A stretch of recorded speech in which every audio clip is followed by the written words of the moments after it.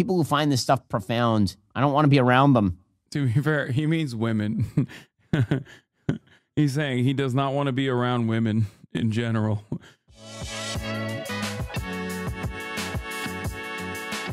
All right, well, I'll be negatively polarized in the loving Taylor Swift unconditionally now that Ben Shapiro has decided that the new album is garbaggio. It's Friday, Let's so it's go. time to de More takes like this, baby. Let's go. We won the Swifties back. The coalition is still intact. deconstruct some culture. Taylor Swift's new album is here. People are really excited. It's called The Tortured Poets Department, which is so tiresome. Ugh, can we stop pretending that she's high art? Please, please. The tortured poet. Yes, she's tortured. She's so tortured. She's so tortured that she's worth billions of dollars for singing songs that are most appropriately sung by 16 and 17 year old girls is a 34 year old woman who's childless and unmarried. It's so boring. Oh my God. Wait, what? Childless and unmarried? What the f- Wait. 34 year old woman who's childless and unmarried. It's so boring.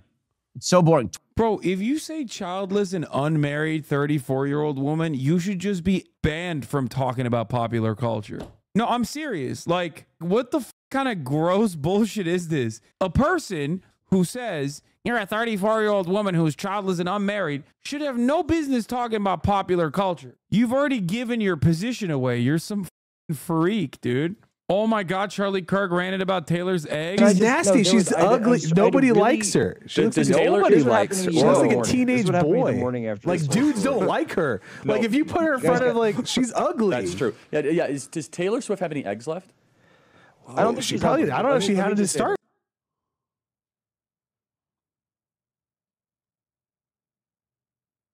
people really shouldn't be so comfortable saying stuff. I- I'm serious. That's crazy. They beat us on at the misogyny game. Yeah.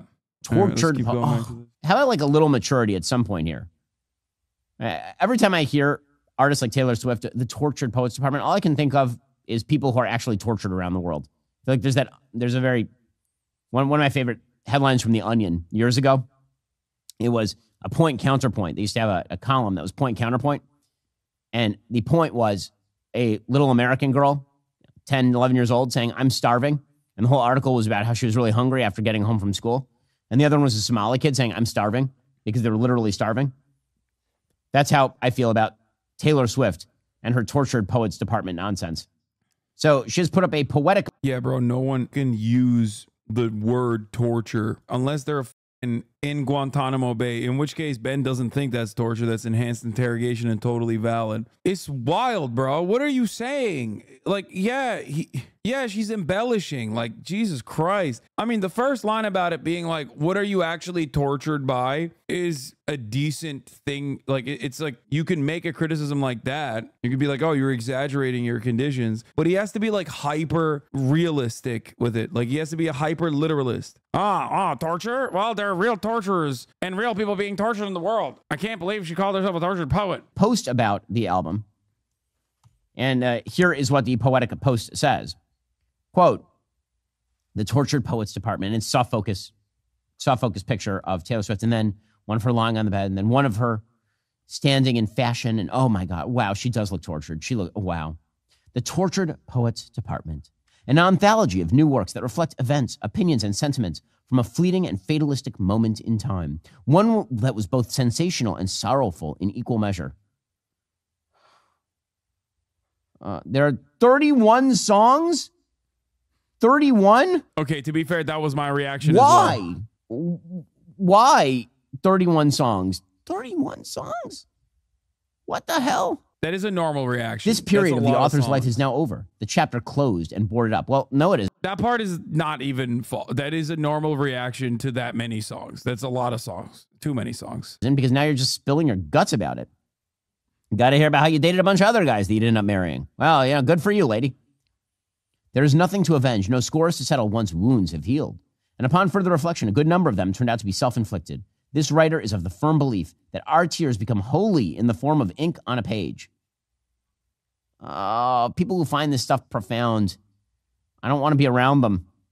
Our tears become holy in the form of ink on a page. To be fair, he means women. He's saying he does not want to be around women in general, which even if you have a take there, you just arrived at it with the wrong with the wrong analysis. And then all that's left behind is the tortured poetry. The tortured poets department is out now. I just want to vomit. I just, it's so, you didn't suffer. Stop pretending that you've experienced real suffering because you dated a bunch of guys you didn't marry. Real suffering. You, you, you seem like to- absolute tortured, like really tortured. This sort of stuff gets at me. It, gets at me because stop, stop being such a whiny pain in the ass. Like seriously. In the words of, of, of Arnold Schwarzenegger, stop whining. Why are you so whiny all the, the time? Like, I know peer, people who have, who have experienced actual real tragedy. Bro, this is a real J. Cole saying your album was boring to Kendrick moment. Okay. This is a real Drake saying uh, you made pop songs with Taylor Swift to Kendrick Lamar moment. It's pot calling the kettle black. You can't be talking about whining. You're whining about a music album. Why are you whining all the time? There's real things to whine about, like women having bodily autonomy in blue states. I hate that. actual real torture. There are people in the world who have kids who have cancer and those kids die. That's a real. Then you get to talk about torture. You are not tortured because you went out with a boy and then he was mean to you and you couldn't communicate properly and then you broke up and then you went on your private jet. You're not tortured. Okay, okay, okay. God, this is so shallow. Like, dude, yeah, I get it. Like, Taylor Swift is rich. like, she's also a musician. like, what do you mean? If you become a commercially successful musician, you should never make music ever again because, after all, you're rich. You're a commercially successful musician. Shut the fuck up. it's such a weird take. like, what is happening here? You can still have feelings even if you're rich. You know what I mean? Why does he act like he's this guy who doesn't love wealth and, and being wealthy and love the wealthy and defend their interests all the time? It's such a weird take. Like, bro, I, you know, as a left wing person, as a leftist, I still do think that, like, you know, rich people get sad too. Sure, maybe they wipe their tears with hundred dollar bills and shit, but like, it's fine. You can still make music. what the? F- And 17 year old girls who are being taught to act like you can still have feelings, even if you are rich, a rich person. Yes, I should know because I too have private jets, multiple of them, and I fly with them all the time when I feel sad. And then it doesn't make me feel happy when I fly in my private jets, my sad private jet. ridiculous, ridiculous, emotionally self involved, puerile brats like this. Ugh. I hate this crap. I really, really hate it. And I haven't even heard it yet. I don't even know if the music is good or anything. I don't know. You know, it's, I'm sure there will be four chords because that's all she can play on the guitar. And, um, four on the floor. Speaking of literal torture, this is the definition of literal torture. Yeah. Wow, Ben, I can't believe you said you were literally tortured watching that clip. Or kick drum and all the rest. So, wow, just tortured post department. She's so deep, guys. She's so deep. Or maybe she's the shallowest person you've ever heard of in your entire life. She is a cheerleader who is dating the high school quarterback in front of everyone, and she's worth billions of dollars and flies around on private jets and sells you her support. Why does he read as jealous? Am I crazy? Is he kind of jelly here? Like he sounds like a angry incel who's mad he's not the cheerleader dating the quarterback worth a billion dollars. That's weird, man. Posed tears. Uh, do not like. Anti. We'll get to more on this in just a moment. First, finding that perfect Oh my god. Okay, dude. Come on. Come on. Come on. the tra- the, the Joker one was overrated. Oh, this it. That's all the that's all he said about Taylor Swift. And then he moves on to other pop culture shit. Yo, I can't wait for Brett Cooper's analysis on this. She's about to pop off, dude. She's about to motherfucking pop off, baby.